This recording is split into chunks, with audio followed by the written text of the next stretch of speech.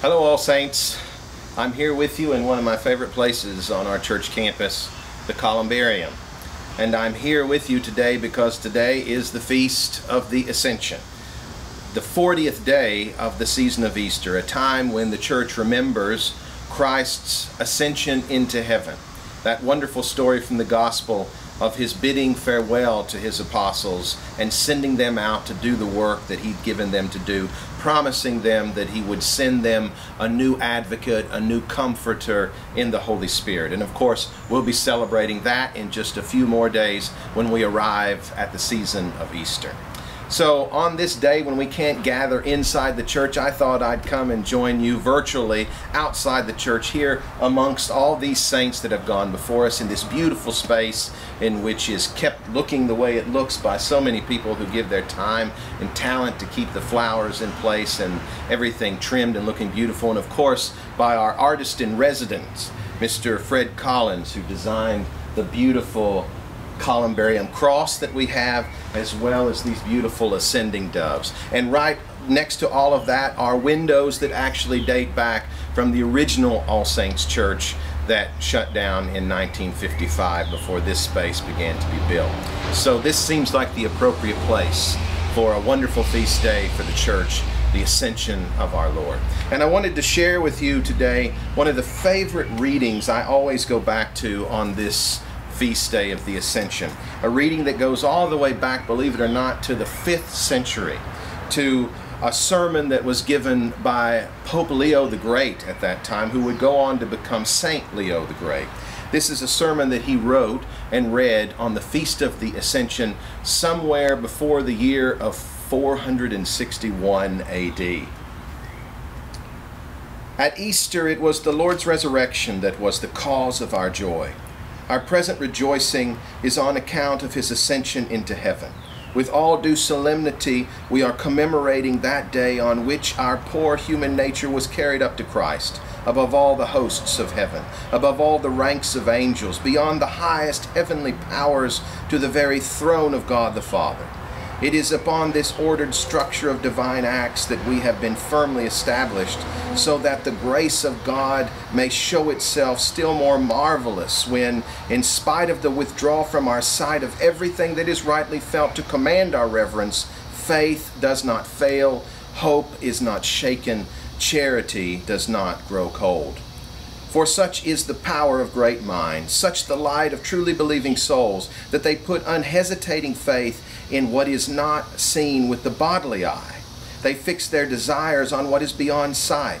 Such fidelity could never be born in our hearts, nor could anyone be justified by faith if our salvation lay only in what was visible.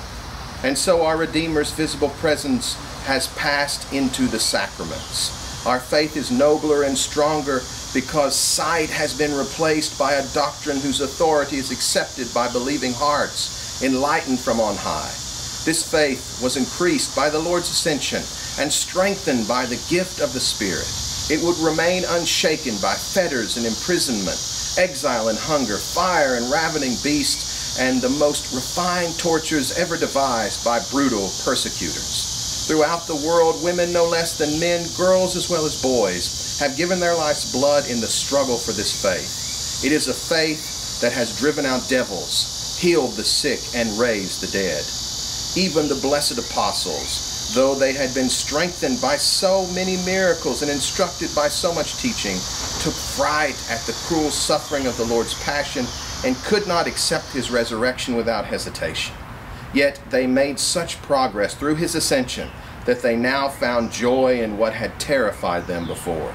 They were able to fix their minds on Christ's divinity as he sat at the right hand of the Father, since what was presented to their bodily eyes no longer hindered them from turning all their attention to the realization that he had not left his Father when he came down to earth, nor had he abandoned his disciples when he ascended into heaven. The truth is that the Son of Man was revealed as Son of God in a more perfect and transcendent way once he had entered into the Father's glory he now began to be indescribably more present in the divinity to those from whom he was further removed in humanity. A more mature faith enabled their minds to stretch upward to the Son in his equality with the Father. It no longer needed contact with Christ's tangible body, in which, as a human being, he is inferior to the Father.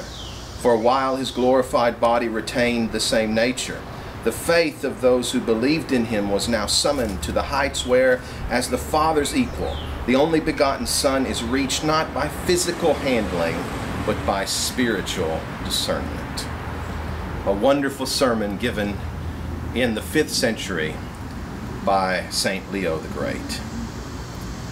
And now, brothers and sisters, I send to you a wonderful, happy Ascension Day message. And I invite you to pray with me the prayer that is given for this day. Let us pray. Almighty God, whose blessed Son, our Savior Jesus Christ, ascended far above all heavens that he might fill all things mercifully give us faith to perceive that, according to his promise, he abides with his church on earth even to the end of the ages. Through Jesus Christ our Lord, who lives and reigns with you in the Holy Spirit, one God in glory everlasting. Amen. And let us pray again. Grant, we pray, Almighty God, that as we believe your only begotten Son, our Lord Jesus Christ, to have ascended into heaven, so we may also in heart and mind there ascend and with him continually dwell, who lives and reigns with you in the Holy Spirit, one God, forever and ever. Amen.